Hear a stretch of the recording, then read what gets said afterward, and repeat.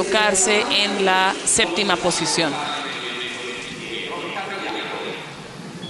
Y aquí estamos otra vez de regreso en el nado sincronizado. Es la pareja de Uzbekistán.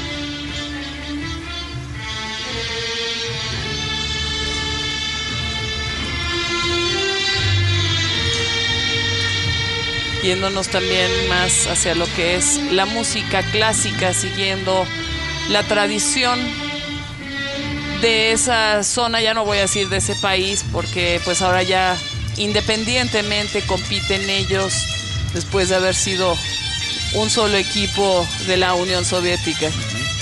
Y parte de la Unión de Repúblicas Socialistas Soviéticas hasta antes de la caída del muro de Berlín. Exactamente.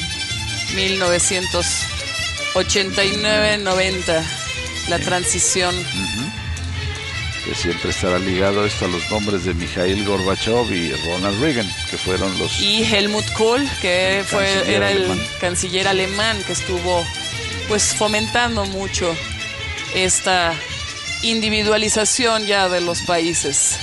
Y creo que ya no, ya no cabía, ¿no? Ese tipo de. No, ya había sido demasiado tiempo. sí. Y además, claro, sin querer meternos mucho en cuestiones políticas, pero pues obviamente creo que eh, regímenes tan represivos eh, no tienen cabida ya.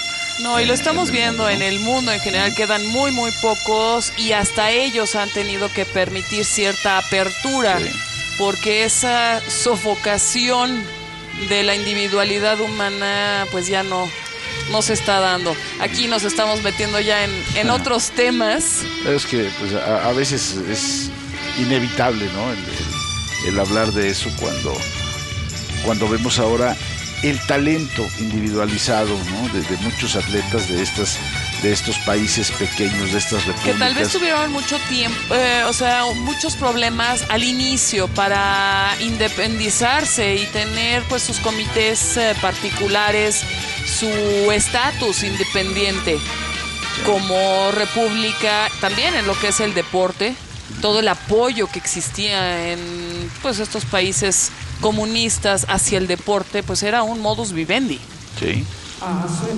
Bien, y aquí termina esta pareja de Uzbekistán con una rutina clásica. Aquí vemos repeticiones y en la pantalla nuestro correo. Cualquier comentario, sugerencia, siempre bien aceptado, tvcdeportes arroba tvporcable.tv aquí parte de lo que fue la rutina de las sus becas.